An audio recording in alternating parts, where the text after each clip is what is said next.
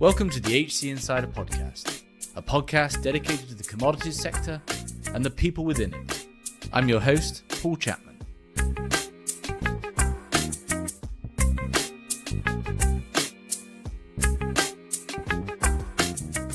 Today we're talking the history of ice. Historically, only available to those people who lived in northern climes, where they could harvest it in the winter and store and use over the summer. However, from the 1800s on, ice became big business, especially in the US. The wide availability of ice had profound human health impacts and economic impacts, and was one of the largest industries in the US by the 1900s. It had its fair share of barons, ice squeezes, and sharp business practices. The ice supply chain employed hundreds of thousands of people, and the Iceman was one of the most familiar characters in the early 20th century. Within a few short years, it all went away, with the rise of electric refrigeration in the home. Here to tell that story of another commodity transition is Amy Brady. Amy is the executive director of the Orion magazine. She holds a PhD in literature and American studies and has won numerous writing and research awards from the National Science Foundation and is author of the book Ice From Mixed Drinks to Skating Rinks A Cool History of a Hot Commodity. Great reading for a hot summer. As always, you can really support the show by leaving us a positive review on the platform you're listening on, or even just click the five stars. It really does help support us. And as always, I hope you enjoy the episode. Amy, welcome to the show. Thank you for having me. So we're talking your book, Ice, from mixed drinks to the skating rinks and the cool history of a hot commodity. And I guess it's the commodity piece that's of interest to, to us and our and our audience. And and ice isn't necessarily one that immediately springs to mind anymore, but was crucial to the economic and the cultural development of the world in the last couple of hundred years and perhaps is forgotten in that context. And we're going to go through the story of it. Before we sort of start with the, the, the history and the profound impacts of ice and its its subsequent demise as, as a, a major industry, what led you to write the book? Well, a few years ago, the world was in the grip of a brutal heat wave, uh, so much so that it strained the energy grid of my parents' house where uh, I was visiting one summer. And it knocked the power out. So we piled into their car and went to a nearby gas station that was running on a generator just to try to cool down. And I filled a cup with ice so that I could have some iced tea to, to further get cool on this extremely hot day. And as I was watching the ice cubes fall into my glass, it just occurred to me that I hadn't thought twice about whether ice would be available there. And I also knew if I had gone a mile in the other direction, I could have gone to a grocery store where I could have bought ice by the bag. Ice is everywhere. Uh, at least it is in the United States. And that's certainly not the case anywhere else in the world. So I was really struck by that. And once we got back and the power came back on, I, I, tried to do some research, some cursory research about why Americans seem so obsessed with ice. And I couldn't find a satisfactory answer. So, being the curious nerd that I am, I dived into the research and a wild and weird history presented itself. And that history became my new book. Excellent. And it is amazing how ubiquitous ice is in North America you know, I remember this summer going back to my, my parents' house uh, with the kids and it being a very hot day and there's there's no ice, right? It's sort of a peculiar American thing in that sense. It has led to some of the, you know, much of the book. The second half of the book certainly is focused on the cultural ramifications of ice. But let's let's go back to revolutionary United States, you know, George Washington and so forth. You know, it was a very, it was, you know, can we just sort of talk about ice at that time because it was a very much an elite thing. It was very much tied to the northern states, the northern latitudes around the world where you could harvest natural ice. Can you just start in that story before we get to the first ice king, Frederick Tudor? Let's start in, sort of the 1750s or whatever we might want to pinpoint it. You know, what was the state of the ice in quotes industry then and, and how were people using it and, and how widely sort of recognized was it as important to health and so forth?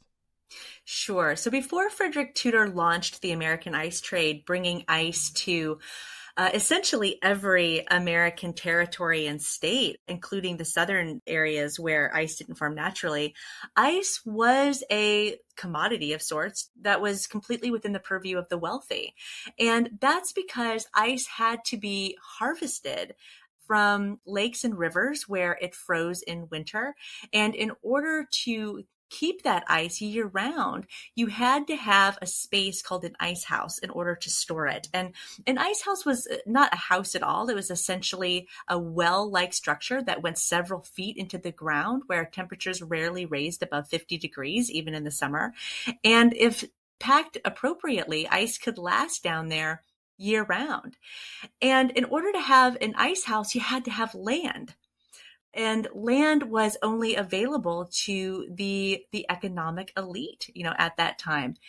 And moreover ice was dangerous business to harvest. It wasn't something that the average person had time or the the resources or frankly you know the the ability to harvest themselves. So it was usually done by servants or uh, in some cases uh, enslaved servants. And you had to be a wealthy person to to have those folks you know working on your estate. So it really was the um, the dominion of the wealthy. And it took some time you know even after the launch of the ice trade for ice to become the ubiquitous substance that we know it as today that's available to people of almost any economic background so, so before we launch into the ice trade and this, I mean, it's filled with again when you look at the history of these commodities, whether it's whale oil or ice and so forth, these these fascinating entrepreneurial characters. You know, a world without ice, you know, without any other form of, of cooling, was a difficult world for human health. Even you know, without the extreme temperatures that we, we were experiencing this summer, but for human health and particularly in those southern latitudes, it was a real crimp on the ability for the colonists to expand westward as well, right? Without you know into much warmer and hotter latitudes than they many of them historically have been exposed to in in northern Europe. That's right. You know, before ice was everywhere, you know, folks who didn't have access to it wouldn't have been able to use it to reduce swelling or to cool a fever or to cool a drink of, of tea or water. There were going back thousands of years into uh, you know to extremely hot climates. Um, you know there were recipes for making cooling pastes, but even those didn't get to the cold temperature that ice could provide. So they were only so much help. And for folks who did have access to ice, you know there there was an understanding that a nascent understanding, I should say, that ice could be used in in some of these ways. It just it just took a while. Not until after the ice trade did people really fully understand and start to fully exploit the power of cold.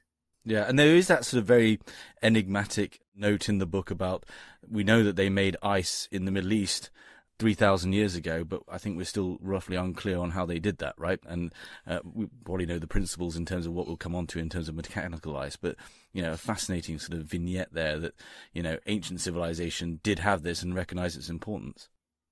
Oh, absolutely, absolutely. And to be clear, you know, my my book does focus largely on the American ice trade, but Americans certainly were not the first people to use ice. Uh, you know, it's been used by all different types of cultures um, for many different purposes for thousands of years you know, it really is the the colonizing Americans that took their sweet time uh, figuring out how to make and use ice in all the ways that we enjoy today. Okay, so let's talk about good old Fred Tudor, who I think if he were alive 50 years ago would have become, or you know, an oil baron, an oil, a head of an oil trading company. let's talk about this character because he's the one essentially who created, as you said, the ice trade which is a fascinating interplay of both having to create a market, there's a lot of resistance to it, lack of understanding in the southern latitudes, and also then figure out how you actually ship, store, and sell this stuff. So, can you tell us a bit about his story and take us up to how he got to Cuba and, and started the, you know, the, the modern day barista as we know it? So Frederick Tudor was uh, an eccentric, wealthy Bostonian who, in his early twenties, landed on the idea to carve blocks of ice out of the lake on his family's estate and to sell it to people living in warm climates around the world for a hefty profit. And every one of his peers thought he was mad for even having the idea. There was no historical record of any before Frederick Tudor of anyone shipping ice long distances or, or even short distances for that matter. I mean, anything longer than lake to ice house by, you know, horse and buggy, which just was unheard of. And so they, they thought that, um, you know, he was, was mad for having such an idea. And at first, you know, his critics proved to be right. It took him about 10 years before he finally succeeded in selling uh, his ice uh, for a profit. And that was largely because it took a while for him to realize that for people living in places where ice didn't form naturally, to see a piece of ice for the first time was akin to seeing a unicorn. It was this fanciful substance that was cold to the touch that melted. You know, it was ephemeral. It only lasted for, you know, a few hours, if that. So if folks hadn't even seen it, they wouldn't just know what to do with it. So a part of his brilliance was that he created a market for ice by showing people how to use it to make the most delicious things. And he also had to create an infrastructure for ice you know, one of the biggest uh, pitfalls in his original business plan was that when he arrived in the Caribbean, which is where he started this this scheme to sell ice, it just for a, a Massachusetts born person, it just never occurred to him there wouldn't be ice houses. There, there, you know, there wouldn't be a means for taking ice from ice houses into people's homes. None of that infrastructure existed. So he had to create a market and an infrastructure before he could turn a profit. And it took a long time. Yeah, I love it when he turns up and people start returning the ice saying, this stuff's melted. let's take both of those because I think it is it's fascinating, especially I think for the commodities community, right? So let's talk infrastructure. What did I mean? How did he go about saying shipping large blocks of ice, even down to the Caribbean? I mean, these were multi-week multi-month journeys just to get to the destination. How did they? What did he do? What ship did he buy? And then the the ice houses that he eventually started building in in these locales because the same. I mean, very quickly the same thing was happening throughout the south as well. Can you just talk a little bit about the just the nature of how did you pack ice on a ship? Yeah, so he bought his own ship, and that was the first of several business mistakes. We can start there. In Frederick Tudor's day, uh, traders didn't usually own their own ships. You know, they they purchased cargo space on ships that were already sailing along their preferred trade routes. But Frederick Tudor either didn't fully understand this or he just had more hubris than than you know the the average merchant of the time. And so he bought his own ship and he went into deep debt for doing that. And then he outfitted the cargo hold so that it could support ice for long distances. And you know he he built it on a string of best guesses um, that that fortunately for him turned out to be right. And that's that he studied how and why ice can last for months at a time in his family's ice house. And, and remember, an ice house is this deep hole essentially in the ground where ice is stored year round. And in order to keep ice from melting in an ice house, the blocks of ice have to be packed tightly together so that airflow doesn't go between the blocks because moving air acts as a form of erosion on the outside of the ice and, and induces melting. He also made sure that the ice was packed in sawdust and straw, which acted as a barrier to the ambient air around the ice. Think of a giant koozie, as we say in the United States, yeah. you know, that you'd put a, a beer in. And then ice was also elevated so that it wasn't sitting in its own melt water because water also acts as an expedient that speeds up melting. And so he essentially recreated those conditions in the cargo hold of a ship He built a platform to elevate the ice. He made sure that it was packed tightly together and coated in straw and sawdust. The ice was harvested usually over the course of just a couple of days so that the ship could take off during the winter months. And, you know, yes, it was exposed to heat once it reached warmer southern waters. But because of the way that it was packed, um, most of Tudor's uh, shipments arrived with about two thirds of the ice intact which to my modern day mind seems pretty remarkable. But he does turn up, and you know he turns up in Cuba, and he's you know no one knows what it is, no one's gonna, no one wants to buy it, and so he starts what must be one of the most effective marketing campaigns in in the history of business, given where he ended up. How did he go about creating that market? Well, as you know, I said for years and years, nobody would buy his ice. They thought it was way too strange. And so it finally occurred to him he needed to convince people not just that ice was a value add to their life, but he had to show them in real time how it could be used to to make these these wonderful additions to their lives. So he started out by going to uh, baristas and bartenders uh, in Cuba. And, you know, what he had learned from many of his previous trips to Havana was that you know nobody on the island had come to trust him this weird band with these these ice cold rocks but everybody trusted their local barista because cafe culture was just dominant in Cuba uh, during this time. And so he went to uh, these baristas, these cafe owners. He gave them ice for free. And he said, I'm going to show you how to use this ice to make, you know, ice cold drinks. And because I'm giving you the ice for free, you can sell ice cold drinks for the same price as your typical lukewarm ones. And let's just see what the the masses prefer. And you know, you can't argue with a drink on the rocks.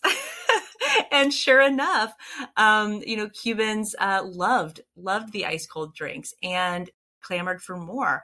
And at that point, the baristas came back to Tudor and said, "I need more ice." And he said, "Sure, let me, but I'm going to sell it to you this time."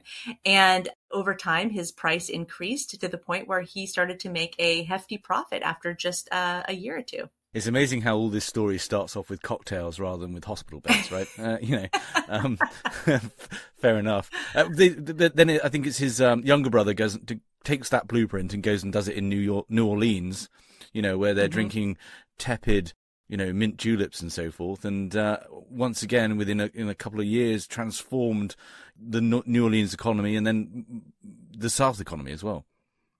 Yeah, that's that's right. You know, when Tudor sent his younger brother to repeat that marketing plan in New Orleans, Henry, his brother's name was Henry, uh, arrived at a transitional moment in that city's history. You know, it was a moment when you know this the city had many different types of people from all different types of backgrounds you know kind of converging you know in the heart of the the of the french quarter just, just, and just give us a time frame here i realize we probably haven't made that clear Sure, this would have been the 1820s. Frederick Tudor sent his very first shipment of ice to the Caribbean in 1806, and around 1815 or so, he started turning a profit there. And, and in the 1820s is when he came to the southern United States. And so he arrives. So Henry arrives in uh, in New Orleans uh, at this time and finds a city that is already experimenting with different types of cuisines, art, music.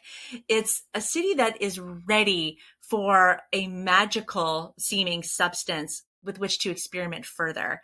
And the the bartenders there took to it very quickly and immediately saw different ways that they could use shapes flavors textures of ice to create all kinds of new drinks and it's just a short time after ice arrives in the city that we see the creation of America's most iconic, and New Orleans in particular's most iconic drinks. We get the Sazerac, we get the gin fizz, we get the whiskey sour, all of these drinks that are now hallmarks of American cocktail culture that would not have been possible if ice hadn't arrived when it did. And from kind of a, a hapless start, right? I mean, he becomes quite a ruthless and effective business person to create an empire. You know, he's crush, he creates a monopoly, he's crushing competitors. He's sort of doing the Walmart approach where he's buying the best land for the, the ice houses. He's sewing up the supply chain. I mean, we're going to come on to the story of John Gorrie, but just to get some sense of the scale of what Tudor had built within 20 years or so and its dominance over the ice market and the fact that now this, you know, this market was captive and captured and, and was consuming ever more ice. That's right. You know, from the very beginning, Tudor was concerned about copycat entrepreneurs, and he was right to be.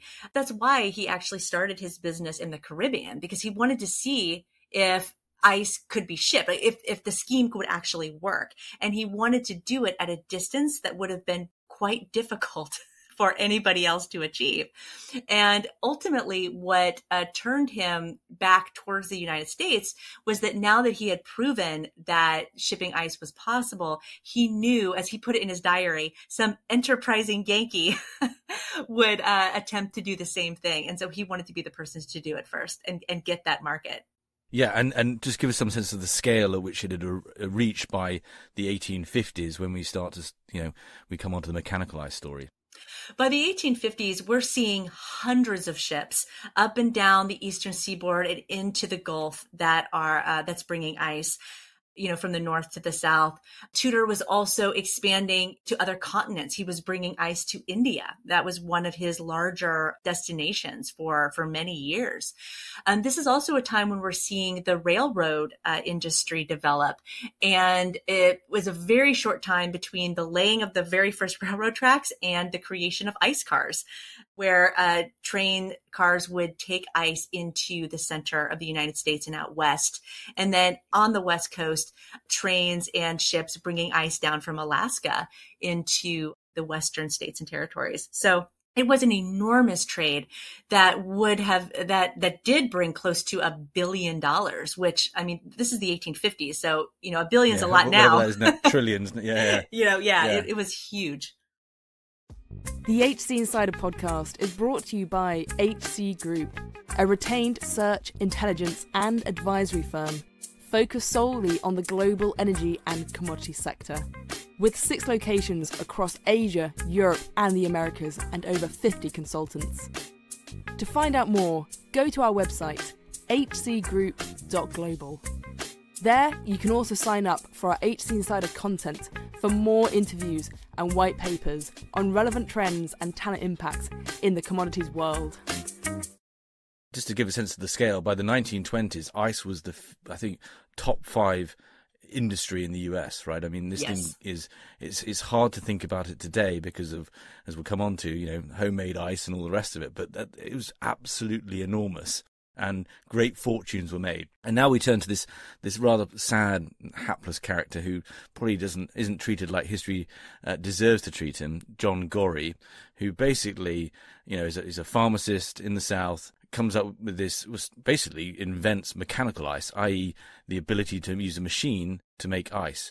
And you'd think within overnight, as we sort of saw with the story of oil versus whale oil, this thing would just take over in a couple of seconds. But the reception is astonishing. Can you tell us about this this poor chap? Oh, this poor chap, Dr. John Gorrie. So, John Gorrie, you know, he grew up in South Carolina. He got his doctorate degree from New York. And when he graduated, he moved to the tiny port town of Apalachicola, Florida, which is just off the Gulf Coast. And he went there largely because of his memories of what summers were like in South Carolina, which were ravaged by the arrival of yellow fever. And this, by the time uh, Gorrie reached uh, Apalachicola, Florida, this was the 1840s. And this was a time when doctors didn't understand that yellow fever was transmitted by mosquito bites. Uh, all they knew was that it got worse in the summer and then it waned with the arrival of fall and winter and colder weather. And so, you know, during one of the worst breakouts in Floridian history, it occurred to John Gorrie that if he could get his patient's body temperature to mimic the cycle of the seasons, you know, that is, he could get them cooled down, that he thought he could cure yellow fever. But this was the 1840s. The ice trade had only just arrived in Florida, and ice was so expensive at this time locals referred to it as white gold. And unlike today, doctors in Gorrie's time weren't known for making a lot of money. and John Gorey didn't have much. And so he could only afford a small amount of ice barely enough to care for one patient, let alone the dozens and at one point, you know, a hundred patients that he was seeing at any given time because of yellow fever. So he knew the only way he was going to get enough ice to treat his patients as if he figured out how to make it himself. And so relying on the physics and science classes that he uh, studied at, in medical school, you know, he harnessed the laws of thermodynamics to eventually, after months to a couple of years of experimentation, to create a prototype that could actually make ice it was a machine that was uh, very slow to operate. You know, it, it's not like you could just plug it in because there was no electricity. Um, it was hand cranked. And so it took a long time. But once the machine was cold enough, it created a massive amounts of ice. And he was thrilled and he thought that when he would announce the discovery of this of the invention of this machine to the world that everyone else would be thrilled but that was not the case. Uh, instead, he was met with cries of blasphemy and with you know people saying, "How dare you create ice? A man can't create ice. Only God can create ice." Headlines appeared in newspapers up and down the East Coast and throughout Florida that he was this crank that thought he could make ice better than quote God Almighty and uh, his reputation was ruined. And sadly, you know, he he ended up dying uh, just a few years later of the very disease he hoped to cure. Yeah, and the suspicion is that it was good old Fred Tudor and crowd putting out those ads, right? I mean, they they did a real number on mechanical ice um, to to maintain their position. That's right. John Gorrie died convinced that Frederick Tudor had ruined his life. And, you know, there's evidence to suggest that's true. He, John Gorrie made his announcement at a party that was hosted by the local French consul. And unbeknownst to Gorrie, some of Tudor's associates, or maybe we call them henchmen, were there when it was announced that he had created a machine that could make ice. And so word got back to Tudor, who did not take lightly any threat to his empire. And what could be a bigger threat to the natural ice trade than mechanically made ice? And so there's there's scant evidence to prove this, but it's still uh, there is enough evidence to show that this is likely that it was Tudor and his people that planted those headlines and stories in newspapers that ultimately ruined Gorrie's reputation. Yeah, and there's some, you know, there's some more of that coming up, right? I mean, that goes on in the 1960s with the IPIA, but you know, again, it's just these swashbuckling characters and in in the commodities world. Okay, so so basically, you know, the next 50 years, taking us up to sort of the 1900s, mechanical ice does start to compete with natural ice, and we we I want to go to New York now, and we get this sort of the second ice king, this Morse chap who who does it's a good old commodity squeeze with profound impact. So he basically, well, you tell us the story, the, the, the great New York ice squeeze of 1907. Oh, goodness. Charles W. Morse. So this was a man who came from a, a wealthy family that made their money uh, in the shipping business. And he arrives in, in New York at a time when the ice industry is in a midst of great transition, right? The the ice, the natural ice industry is still alive, not necessarily doing well, but it's still alive. And um, we're seeing the rise of mechanically made ice, which finally did catch on, thanks to Gorrie's existing blueprints. And so we have, you know, ice being shipped down from Maine, uh, being shipped, uh, being harvested off the Hudson in New York. And we see these ice plants that are cropping up along the Hudson and in you know, throughout New York and uh, the still then separate city of Brooklyn. And Charles Moore sees an opportunity to buy up these various competing small companies and to consolidate them into a large uh, a, large monopoly. And and that's what he does. He essentially creates what newspapers started referring to as the ice trust. And because he owned uh, almost exclusively every amount of ice either being shipped into or created in the New York area, there wasn't any competition. And so, and there wasn't anybody to to really see, you know, what what he was doing behind the scenes. And so during an extraordinary heat wave, you know, during uh, 1907, or I'm sorry, in the late 1890s, he. Yeah, um, sorry. This is the, the the 1907 is the copper is the copper squeeze. That's right. It's the copper squeeze. Right. So this is during the, the 1890s, and so there's this extraordinary heat wave. You know, and, and Moore sees an opportunity here. And he, and he says, you know, well, ice, we had an ice famine meaning the winter before didn't get cold enough to produce much ice. And so there isn't much ice. And so because demand is so high and supply is so little, he hiked the prices by over a hundred percent. And this was a problem because by the 1890s, ice wasn't just a luxury anymore. It had become a commodity, a resource, if you will, on par with coal in terms of importance. Everybody used it to store their food, to for for medical reasons, um, for all kinds of reasons, to stay cool during heat waves. And suddenly, only the very very wealthy could afford this life saving commodity, and thousands of people died in New York City alone and many more would have died if it weren't for the quick thinking of the New York City police commissioner who decided to take action when no one, not even the city mayor or the New York governor, would. What this commissioner did is that he ended up rounding up every single, you know, available ice cart that was available. He filled it with ice, any kind of ice he could get his hands on, whether it was naturally harvested or mechanical. And he brought these ice carts into the uh, primarily the Lower East Side, where some of New York City's poorest residents lived, many of them immigrants. And he handed out ice for free. And those residents came out, you know, tears on their face, shaking his hand, thanking him. And essentially pledging their their allegiance to whatever political ambitions he had. You know, he said if you know whatever you do, you know, we will support you. Well, as it turns out, that police and commissioner that is Theodore Roosevelt, and in just yeah. five years, he would be president of the United States.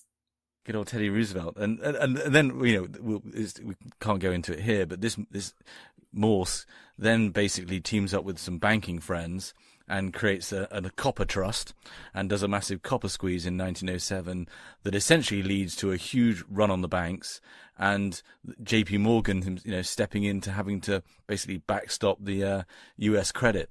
He, yeah. Uh, he basically he's a pretty aggressive chap.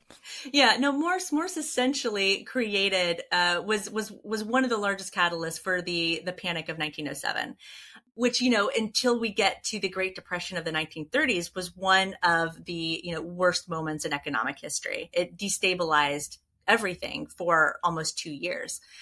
And uh, yeah you know he he could get away with it because he could until he couldn't right? I mean then you know there were investigations into his business practices but he was a slippery figure and it he eventually ended up behind bars for tax fraud of all things. Not not for these other shady business practices but for for tax fraud. And then he managed to weasel his way out of prison uh, a few years later too. So you know he was a a sly shady character.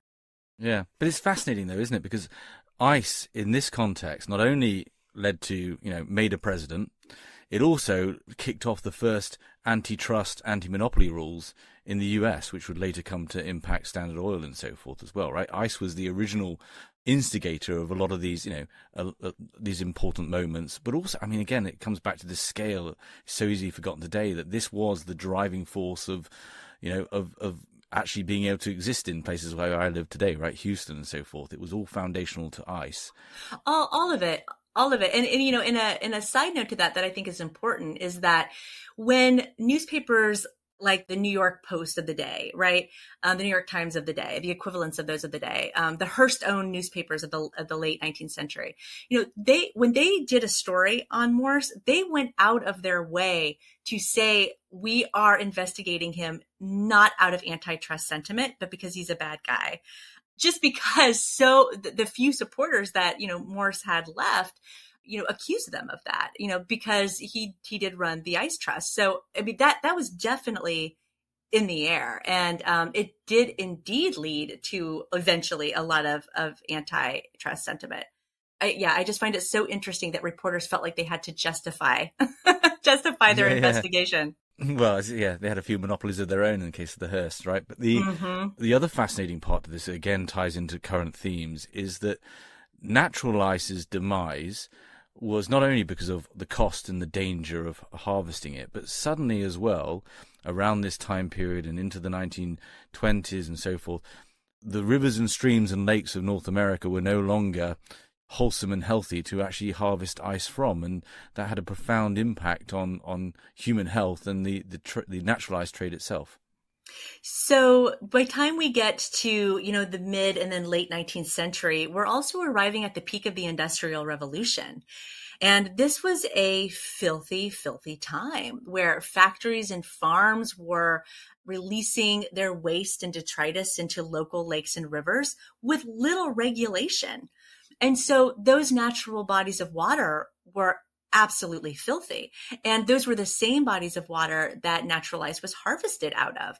And keep in mind, you know, this was a time before germ theory was really understood. And so it wasn't clear always that when there was, say, a cholera outbreak, it was because of the ice that people were uh, ingesting you know, by time we get to the end of the 19th century, that cor- even if germ theory wasn't fully understood, that correlation at least was starting to be realized. And it had a huge impact on the natural ice industry and gave an opportunity to the mechanical ice companies to market their ice as safer and purer than natural ice. And it was one of the biggest reasons why the natural ice industry ended up going away. Yeah, and then you had uh, developments on mechanical ice with, with using ammonia, and you know that, that process got even better and better, and that kind of le- I mean this is peculiarly American figure, the the Iceman, right? Which you know doesn't sit in in my cultural heritage in the UK, right? But uh, incredibly important American icon. The, the, the these weekly deliveries across the United States in huge volume of blocks of ice and so, can you just, I mean, the heyday of that, whenever that was, sort of the 1940s, the 1950s, can you just, I'd love to go there and just, just how vital and crucial ice was to this global, you know, the US economy and this figure of the Iceman. The Iceman is is one of my favorite figures to emerge from this history. They reached their peak probably between, you know, 1880 and 1920, though they were certainly still working up through the 1950s. And the Iceman was the figure who completed the cold chain right? So after the ice was harvested and stored in a corporate ice house or a factory where it was created, the ice man then was responsible for taking these blocks of ice and then bringing them to the customers' homes where they would be put into ice boxes for uh, preserving food and, and what have you. And so, like, as you said, there were thousands of icemen working in any given city. And they were, you know, really strong, burly people because they had to be. You know, they were lugging 50 pound blocks, sometimes two at a time often up six flight of stairs, especially in a place like New York, where they would then, you know, heave the blocks of ice, uh, you know, into, into the ice box. And one of the most interesting things I learned in researching this book is that there was a, a nationwide romantic fascination with the Iceman. There are so many popular songs during this time that are written about the Iceman with lyrics about housewives falling in love with the Iceman. There are Valentine's Day cards with puns about the Iceman. Of course, there's the famous Eugene O'Neill play, The Iceman Cometh, that uh, the title is based on the punchline of a joke that the protagonist tells uh, in the play about his wife having an affair with the Iceman. So there's this the, there's this romantic vision of who the Iceman is, and I thought a lot about that because the Iceman wasn't the only delivery person during this time period. There was also the milkman, you know, there was the mailman. Um, but what I realized is that what separated the Iceman from these other figures beyond his own physical brawniness was that he w- was the only delivery man who actually came inside the house right? All the other delivery men would leave their wares outside the door. But the Iceman had to come inside so that he could put the ice into the ice box. And it wasn't uncommon for the housewife who was home alone right while her her husband was at work to offer the iceman uh, uh, something cool to drink or a chair to sit in and rest for a moment and this was a time when there was anxiety around women being alone in a private space with a man who wasn't her husband so it sparked all kinds of anxiety and uh, lustful imaginations, you know, uh, imaginings about this figure. And what's really, really interesting is that we see that anxiety peak by which I mean we see even more songs, more Valentine's Day cards, more more cultural phenomena during the world wars when uh, more men than ever before were out of the house because they were overseas uh, fighting one of my favorite cultural artifacts is actually a song from the 1930s, which was later popularized by Ray Charles. The lyrics go something like, We're moving to the outskirts of town, and I'm buying my woman a Frigidaire so that the Iceman no longer comes around. it's, it's, it's a fascinating time period. Yeah, and and we should I should say as well we're not really we're not doing the book justice in this discussion in the fact that we're focusing very much on sort of the business side, but the book also has this you know a, a large emphasis on all of the cultural facets and artifacts, as you say, of ice and its profound impact on society, culture, and so forth in in in the US and beyond. But let's I mean, basically it all just kind of goes away within a de- decade or two, doesn't it? And this huge vitally important industry employing thousands of people, hundreds of thousands of people, you know, just ceases as a result of a technological transition, i.e., with the rise of electric refrigeration. And and can you just, uh, I mean, tell us about how abrupt that transition was? And I love this idea that the the sort of the ice lobby group basically tries to pull out a Frederick Tudor to to, to stop people making their own ice at home. Yeah. So the rise of electric refrigeration was the biggest technological change that essentially put the nail in the coffin right for the for the ice industry and we start to see the first mass produced uh, electric refrigerators in the 1920s uh, they grow uh, more popular in the 1930s and then you know with the 1940s with fdr's uh, rural electrification act we see electricity being brought to areas outside of large cities so that these houses could also have electric refrigeration. So, you know, that that act alone essentially doubled the number of people who could have an electric refrigerator in their house. And that was that was essentially the the end of uh, the ice industry once uh, electric refrigeration was possible and folks were no longer relying on ice boxes which leaked and you know were were dirty because you know the ice was just it was just a dirty substance to have in their houses. And uh, and also the price of ice always varied depending on how much was available due to the previous winter. Whereas electric refrigeration there was a reliable cost every month you know kind of like we we see today. You know sure in the summer months our electricity may go up if we have air conditioning but for the most part we have an understanding of what we're going to pay to the utility every year or every month. So electric refrigeration was it and of course, you know, during these last gasps, the the ice industry was doing everything it could to hang on. There were conventions, you know, with subtitles such as "The handwriting is on the wall."